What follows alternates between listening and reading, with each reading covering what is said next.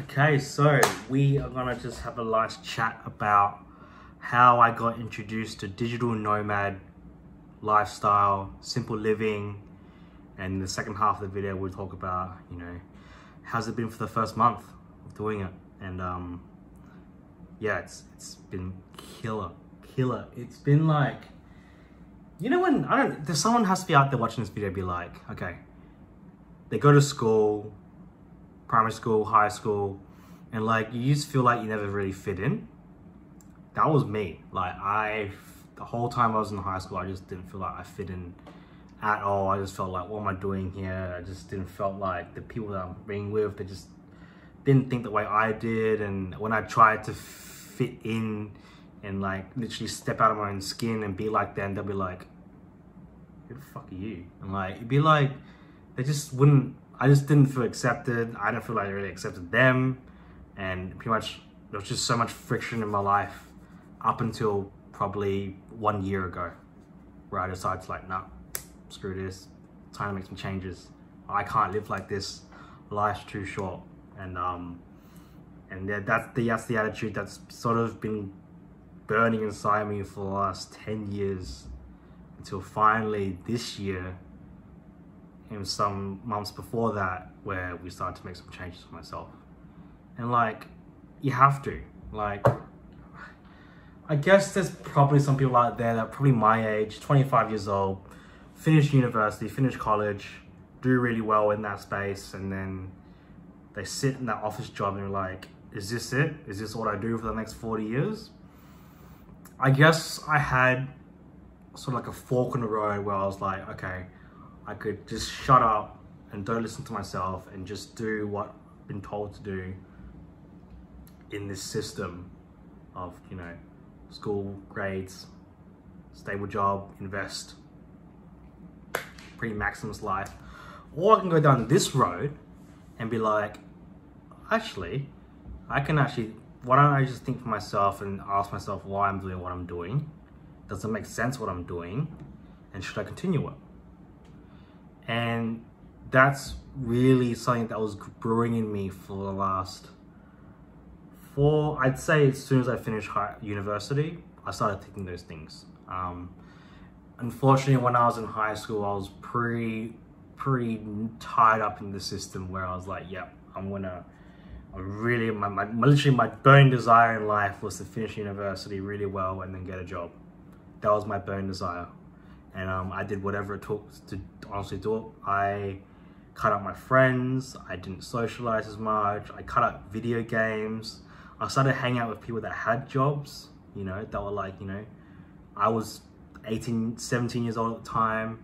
They were 36, 34, so they were a few years in their career. And um, I literally just like hung around them like shit, like fly to shit, honestly. I was just asking them questions, you know, how did you get a job? How did you do it? What are the attitudes I should have? Um, if you were my age, what would you do? I asked them all those questions to like really accelerate my life to like get this job. And I did get it, right? I finished university at, I think, 19. I did on scholarship as well, so I didn't pay for it, which is kind of nice. Helped me out now. Um, but to be honest, I don't really pride myself in that at all. University is university. Um, but yeah, finished at finished at 19, started working at 19, and that first year of working in the job, I remember breaking down, crying in tears, like for the first time in ever. Like I've never done that before. I'm usually a pretty strong-willed person, but then just it that working from nine to five, the commuting, the not being able to share who I am, right? It was like school, but with like consequences, like actual consequences, where if I didn't do what I was meant to do, or didn't didn't adhere to the status quo, I could lose my job, get I get yelled at, I could get you know on a management plan, and I was like, oh my god, yeah. And I, I remember in tears because just of all the commuting, the traffic jams, the actual work itself, and the fact that everyone literally there was just so so vested into becoming inefficient that that's how I really described it. I just found everyone doing their day to day in a in a in a method that's just so really inefficient and just literally trying to tick boxes and literally waste time until five o'clock. Like that was my experience, and I was working in accounting that time. It might be different for you, but this is just what I found out, and it's my video. So if you want to talk about your stuff, make your own video and talk about it here. All right. So um, but then just over time, I think you're okay. So let me just switch gears here.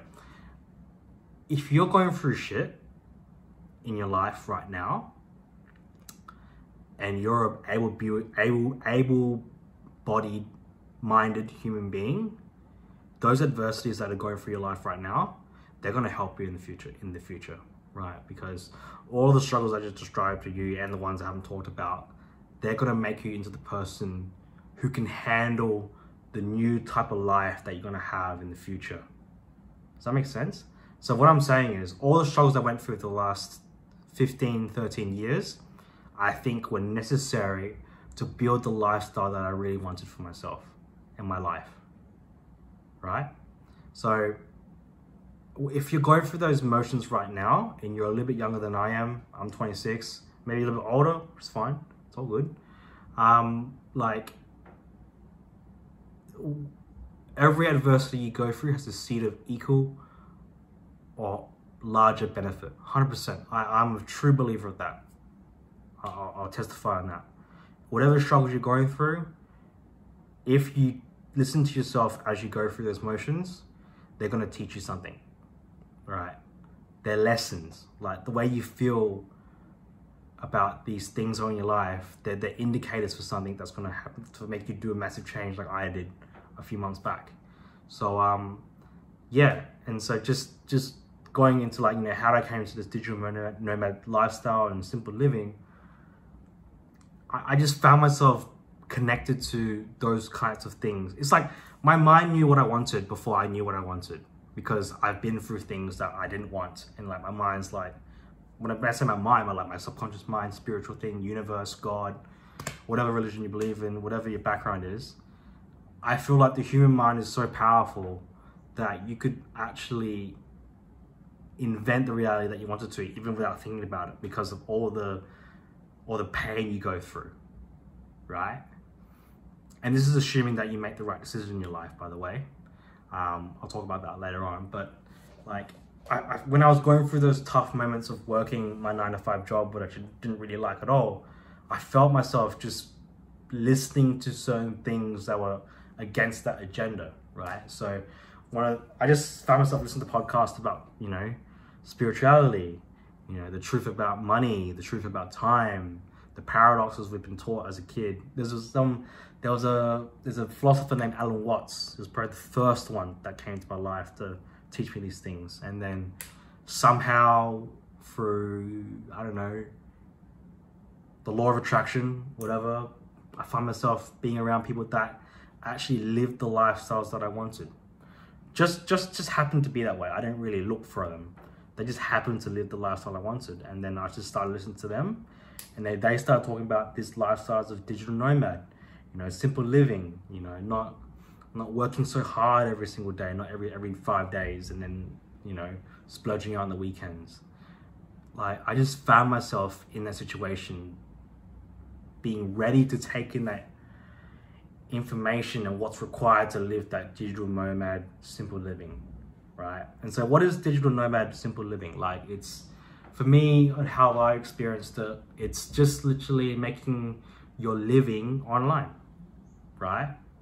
making your living online and and when you do it correctly um, you shouldn't really have to be flustered about like the average nine to five person is whether it is you're a graduate or someone that's further along in their career that's for me is the digital nomad style, lifestyle um, you literally make all your money online and um, doing whatever things that you enjoy doing and the money just comes in and you can pretty much spend the rest of your time doing what you want to do. And like, it, took me a while to really understand to really think that was possible because obviously me being someone that's know, conditioned to work a job for his whole life, it took me probably that seven years to finally be like, be comfortable with actually saying goodbye to my job because I had dreams of sort of having my own business and doing my own things when I was three years into working, but then I was like, oh, I don't know if I can actually do that. I didn't have the confidence inside me. I didn't have the guts to do it. But then seven years, bang, right? After some good experiences in the digital nomad space, did it, did it. And I, and I, and I resigned from my job, I think five weeks ago. And I haven't replaced it ever since. I've just been doing my own thing since then.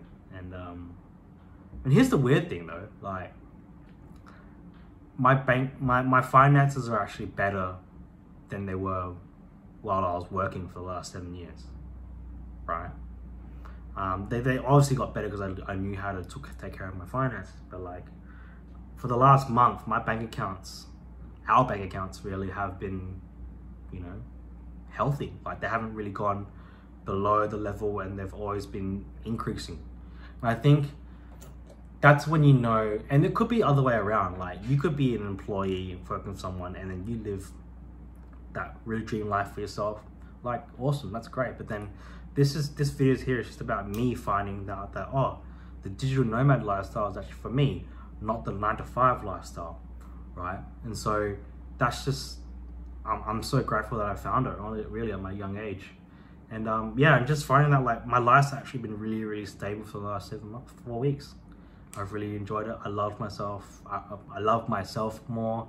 I find myself not really reaching out for addictions, post pre-addictions, or like things to help me sort of tolerate my nine to five lifestyle. Um, my relationships are a lot better at home with my family. Um, and I just find myself being really happy to wake up the next day. Right? Um, like, for example, you guys know when you go for like a camping trip or something, right? You've been working or studying for like the last 10 weeks and you finally have vacation and the night before you can't sleep, right? And then you still fall asleep, but then you wake up the next day super early to do whatever it is you want to do, right? And, um, but then you contrast that to like the next weekend, the week starting is like, oh, you know, Sunday night and then you have to wake up to go to work tomorrow and then like you somehow, you sleep enough, but then you somehow just don't have the, the energy or spark to get out of bed and go to work, right? Um, it's been the it's been the first one for me for the last four weeks, right? Um, yeah, I sleep more, but the, I'm just ready to go out and do what I wanted to do every day, right? It's been like so cool for me, and I, I hope you know for the people that are watching here, I hope that that kind of transition will probably become more common, given the next few years, I think people are waking up to like realizing that working nine to five isn't your only option with the especially with the internet now. And I think a lot of people are going to make the transition pretty soon. So if you're going to do it, do it. I did it. I'm still alive. I'm happy. So um, yeah, it's it's been great. So so basically to sum that up, I just I went through bad experiences, nine to five, and all that entails behind it, and then somehow I believed in myself that I was somehow able to create the lifestyle that I wanted to over a period of time. Right, so for me, it took me probably seven years from day one of trying to make my own lifestyle. Now I finally got it. I've got a rental apartment, cost me 200 bucks a week. Um, I have all the things I enjoy. I like bicycles. I have nice food in the fridge. And every single week, I have enough fun resources coming in, more that's going out. And so pretty much I can live this way indefinitely, right? When I was working my job, I was literally making a lot more, right? I was making probably $45 an hour, working 40 hour weeks, right? Or getting paid 40 hour weeks. You guys know what it's like. And um, I just found myself spending all that money so easily. Like it didn't, I didn't question myself spending that money because like, I went through so much hardship and crap that whole fortnight to get that money. I was like, oh, I deserve that, you know, really expensive lunch. I deserve that really expensive pair of shoes, clothing. I deserve to send my girlfriend to a really nice dinner and then just ching, ching, ching, ching. Every single day or every single like night. Like it, money went as, as as much as it came in when I was working that lifestyle that I enjoy. The money went out pretty much straight away. So, but now it's like, since I'm living this lifestyle that I, me, I enjoy this lifestyle. This is my lifestyle. Your lifestyle might be different from what you enjoy. You might be living it already. You don't have to change it to what I'm doing. But like, once I started living the lifestyle I wanted, I find myself being able to second guess myself to spend money on things that I didn't need. And therefore, yes, I make less money in my hostels because I'm not working as hard as I used to, but I have a much higher net income. And like, that's the game changer, folks. Like, it's not about how much money you make, it's how much money you keep, right? So, anyways, that that that's that's how I got started with digital nomad start, lifestyle. I went through the hard yards of finding out what I didn't want, and then eventually through time, through not, I wouldn't say I was just, I wouldn't say I was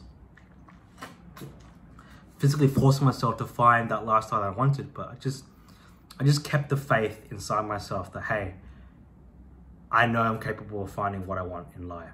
And then somehow after seven years, finally got it for the last month.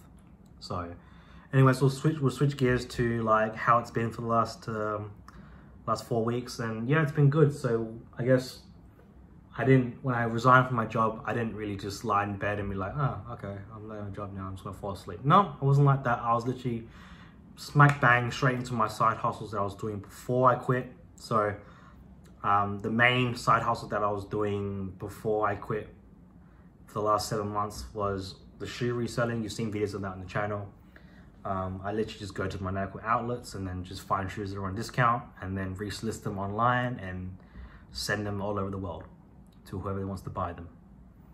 Um, it's it's it's really cool. I really enjoy it because when you list them online, you, your customer base just like you know, right? It's not like when you're nine to five, your customer base is limited like to whoever's in your locality when you have the internet, power of the internet, you can like literally increase your customer base to like the whole world, honestly. So, um, yeah, that's that's the power of the internet, and that's why it's called digital nomad. You can pretty much do anything you want with the internet and make money from there. So that's the main side hustle I've been doing since then, and yeah, it's literally been that's been supporting my myself financially since then. Um, also, you know, I don't pay myself superannuation. That's a different topic altogether. Or the benefits I used to have when I was working on a job. That's just, you know, different topic. But um, also other things as well. I've been doing for fun. I've been doing Uber Eats. You know, delivering food to people um, on my on the bike, and that that's been fun. It's uh, it's not something I really enjoy doing, but it's just something where I think um, just gets gets me outside, gets me outside doing things. So um, yeah, so obviously reselling clearance products online for eBay, Marketplace. Second one is Uber Eats. Um, the third one has been just literally things I find here and there. You know, someone might call me, text me saying I need help with this. And I'm like, yep, I'll do it for this fee. Um, and the fourth thing that's really been helping me mentally, my mental health is YouTube, right? Um, being able to document and share to the world what I've been doing for the last um, few months, few weeks has been really, really cool. Um, I, I have been recording myself, talking to myself before starting digital, digital nomad life, but didn't really have the guts to really share those things there because I was pretty miserable working that job and I didn't want to share that negativity with you guys. Um, that's not what I'm, it's not what I'm about. So yeah, it's just, I think if you start a YouTube channel, you do it because you want to help other people, um, not just make money. Well, you can, you can, I think the other way around exists as well. But for me, it's just like, just sharing my experiences and trying to help other people to do that way. And I think if you're happy about your life and you're really elated and you're content with your life, you want to share it with other people, right? So um, that's why I'm doing there. So, and it's also legacy as well, right? Um, YouTube's also about legacy. Like if I somehow die pretty soon or if I'm 70, 80 years old and I I don't and I think I don't have nothing to show for it, well, check out my YouTube channel. I've been uploading thousands of videos ever since then. So it's just a place where there's a legacy of things that I've been doing there. So yeah, if people want to know about Tien, they can just look at all the videos that he's uploaded. So yeah, that's it. So that that's how it's been for me. Just literally been doing those five or four things, and probably not working as much as I'm used to. I'm, I definitely don't work 40 hours a week. I probably work around, let's say 20, 20 to 30 hours a week. And that's pretty much all I want to do. Um, I don't want to do more than that. If for some reason I need the money and I need to start working harder, I definitely can. That option is there, but at the moment I don't really need to. We have a pretty significant cushion since leaving my job and um, that will obviously continue to grow because of the way we're living right now. And um, yeah, it's been good. I highly recommend it. Like a lot of people, I think I see a lot of people that say they want to quit their job, but then um, they don't know what's what you need to do is that you need to make sure your life is simple enough, and you need to know make sure that your status in society is in check, right? So what do I mean by that is, are you prepared to be laughed at or humiliated in front of people because you're not working a nine to five job that has a high status, right? Me being a manager in accounting, oh sorry, a senior in accounting, was a pretty high status job. I'd agree, but then like I was I was mentally ready to just drop that. Drop that and like not I want to be a basic person. I want to be like a, a scab who sells stuff online that he got on discount in the store. I'm going to be that person that, you know, delivers food for someone. It's really icky. It's a very international student thing to do. Or I don't care. Like, that makes enough money for me and I get to do whatever I want with my time afterwards. Like, I can ride my bike or go for a walk as much as I want now. I didn't have that option before. I'm not chained to a desk now anymore right? It's like, so that's what I mean by social status. Like, are you ready to cut your ties with your social status since leaving that place? Since leaving that nine to five area? Um, I will say this though, if you do have kids and a family, this probably might not work for you at first because when you have a life with children that are still need you to for them to survive, um, your life is definitely not simple in that sense. Like, because when you have kids, especially in the current era, it's very, it's very hard for you to just say, I quit my job and then your kids start. Like, can't do that. It works for us because we don't have kids. We have two pets, two cats, um, and just ourselves. So I think if you do have a family, it's definitely a lot harder to to, to, to make that change for sure. Um, so if anyone's out there, you know, and wants to live a simple life or a digital nomad life, you'll find a lot of them on YouTube don't have kids. Um, most of them, because it's just easier. Um, they can just pack up and leave if they want to. So um, yeah, if you have kids, then this video is probably not for you, unfortunately. But um, but anyways, that's a video. Um, it's been great living a digital nomad life. It's motivated me to share this video with you guys. It's probably gonna be probably gonna be not the greatest of quality, but it's one of my first videos. So um, but I don't care. I don't care. I, I love being able to talk about my life now because I actually love it. So it's all good. So digital nomad lifestyle, I think is the go for the Western world that has internet access moving forwards the concept of the nine to five is definitely going to die away um, pretty soon because people don't like it. And the second thing is it's very expensive. Um, for companies to afford for the, all the benefits and stuff like that, it's, it's got to rat them out. So the the life where you are responsible for your own life and your own performance and um, and you know results is the life that is the digital nomad life i'm responsible for my life now no one else is it's only me But I feel like I have the guts that I can 100% take care of my life and my family's life. So um, if you're out there and you want to live that digital nomad lifestyle, simple living, I highly recommend it. If you are my little brother or my little sister, I would highly recommend you do it and I would teach you 100% how to do it. So if you want to know how I did it in detail, just put comments in through there or just Google it or YouTube it and find someone that can teach you with more experience than I have. I am one month in, but I hope to make another video in probably six months time describing my experiences as a digital, digital nomad. So thanks for listening in guys if you've been this far, but I'm just gonna post this video and hope for the best. Hopefully hope someone, help someone out there. So enjoy guys, stay cool. It's quite hot here in Australia, but wherever you are, stay safe and know that um, you have the power inside you to do whatever you want to do. All right, the war is in here. I finally won that war, and now I'm living the, re the results of that. So um, have a good night, guys. See you around. Peace.